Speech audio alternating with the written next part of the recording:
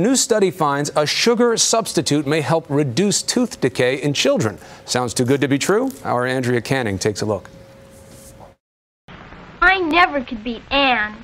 Then we were on opposite sides in a toothpaste test. The never ending cavity war for children may now have a new ally, a natural sweetener called xylitol. Xylitol will stick to the teeth, so the bacteria will not adhere to the tooth.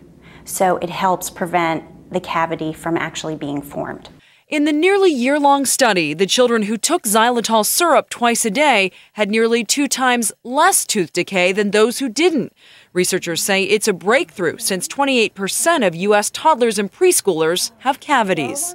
One way to give your child xylitol is through fresh fruits and berries like blueberries and cranberries. The natural sugar is also found in mushrooms and vegetables like lettuce and corn on the cob.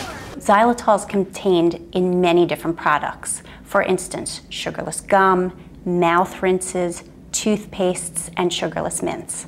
But dentists warn nothing can replace good old fashioned brushing and flossing when it comes to staying cavity free. For Good Morning America, Andrea Canning, ABC News, New York.